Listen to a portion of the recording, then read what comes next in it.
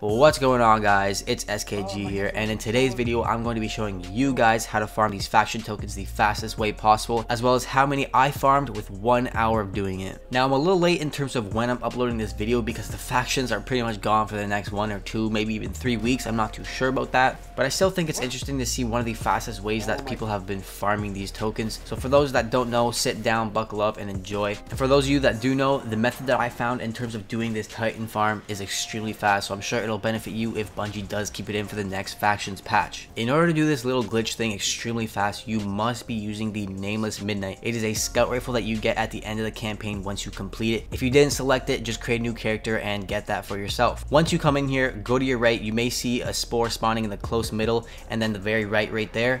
But other than that, keep running. Run over to these little filing cabinets or something, sit behind them for cover, and just shoot everything. You can see every single spore from every angle here, and you're safe.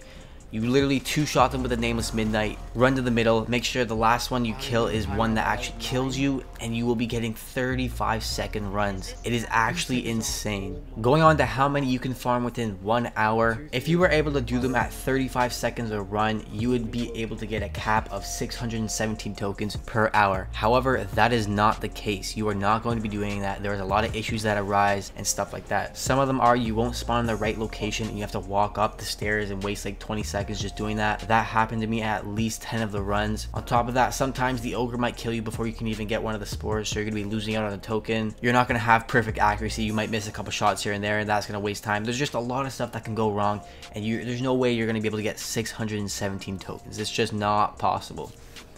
But enough of this, I'm going to show you guys how many coins I farmed with one hour of doing this, and I'm going to show you the very last run that I did. Come on, I got 30 something seconds. Mark, mark, mark, mark. Go, go, go, go. Oh. Can do it. I can do it. Okay. Yeah. Yep, alright.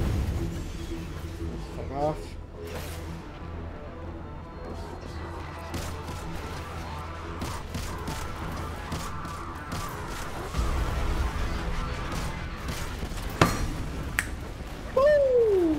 Let's go.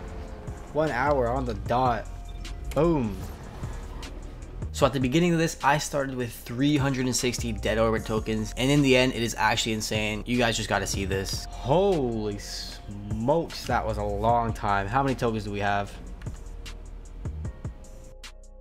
857 dead orbit tokens. I got 497 in one run of an hour. That is actually insane. I hope you guys enjoyed this video. If you did, make sure you leave a like, comment, subscribe, do all that good stuff for me. It helps me out so much. I really appreciate it. If you guys want to see other stuff like me farming, I don't know, heroic events for an hour, two hours, five hours, 10 hours, farming Nightfall, farming Raid, public events, trials, Crucible, all that good stuff. If you guys want to see that, make sure you leave a comment down below and like this video to let me know. I will gladly do those because I have a lot of fun doing these. Um, but yeah, thanks for watching guys. I hope you have a great day and I'll see you in the next video. Peace.